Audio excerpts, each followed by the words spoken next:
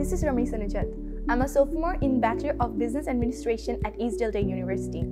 I was brought up in the UAE and this is a country which is like totally diverse from what Bangladesh is.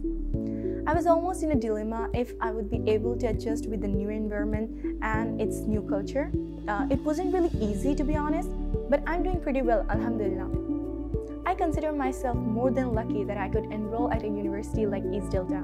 Now I feel so connected to this place because of its um, friendly environment and people.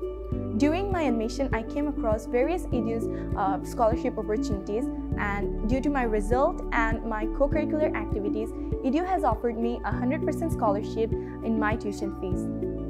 Today, I would like to share my experience as an EDUvian because this university has been an important milestone in my life that I believe will help me overcome all my endeavors in the near future.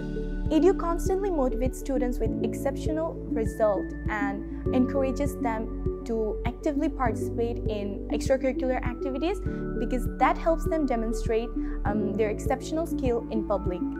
EDU Women Empowerment and Leadership Fund seeks to discover exceptional students and help them and assist them to access in higher education. Scholarships of many types are available with the stated goal of helping women who suffer mm, financial, social, or career obstacle and are incapable of studying successfully. I've been availing my full scholarship since my first semester. Surprised? You will be amazed to hear that East Delta offers uh, their Women Empowerment Fund to uh, many girls who have their exceptional grades and extracurricular activities.